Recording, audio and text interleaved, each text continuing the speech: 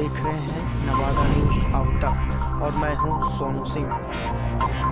मेरे YouTube channel को subscribe करें और बेल आइकन बात यह है कि आज करीब साढ़े दस ग्यारह के आसपास में नगर थाना पहुँचा हुआ था अपने खबर के सिलसिले मैं। नगर थाना पहुँचा और वहाँ पे मुंशी अजय कुमार हैं उनसे मिला। एक जो आमतौर पर हर दिन जो दैनिक होता है पत्रकार का कि क्या थाने में हो रहा है क्या नहीं हो रहा है, कुछ जानकारी वहाँ से मिल जाए, न्यूज़ गैदरिंग हो जाए तो हमने उनसे मुलाकात की, परिचय दिया, बैठा भी पाँच मिनट बातें हुई, कोरोना के लेकर क्या माहौल है, सब कुछ चर्चा हुई उनके साथ। फिर दो मिनट बाद हम वहाँ से बाहर निकले, साथ में बातचीत करते हुए।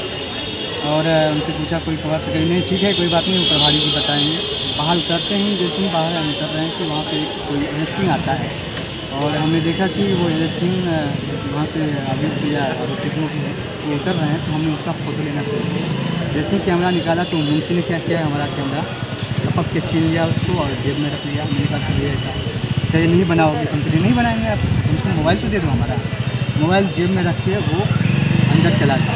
बात यह है कि सारा अगर थाना या एस मैडम से यही कहेंगे, वो फुटेज को निकाला जाए हमने रिक्वेस्ट भी किया था उनको फुटेज को देखा जाए। और फुटेज के हिसाब से अगर मैं गलत हूँ मैं साबित होता हूँ तो हमारे ऊपर कार्रवाई हो। अगर वो गलत साबित होते हैं तो उनके ऊपर कार्रवाई हो। और अगर नहीं होती है तो हम न्यायालय भी जाएँगे डीजीपी को मेल बाकायदा करेंगे सबके पास मेल करेंगे हम चुप बैठने वाले नहीं हैं। किस पद पर हैं आप पर मैं टी भारत में हूँ और कंटेंट एडिटर और क्या नाम हुआ आपका? अभी फ़िलहाल इसकी कोई सूचना दी है कि नहीं, कोई बड़ी पदाधिकारी की? एस मैडम को मैंने फ़ोन कई बार किया तो किसी दोस्त के जो मीडिया सहयोगी हैं उनके माध्यम से, उससे हमारी बातचीत नहीं हो पाई। लेकिन आवेदन हम देने जा रहे हैं और जैसे ही आवेदन हमें रिसीविंग मिलेगा, फिर हम आगे के लिए जितने भी सीनियर अथॉरिटी हैं, उनको मेल करेंगे।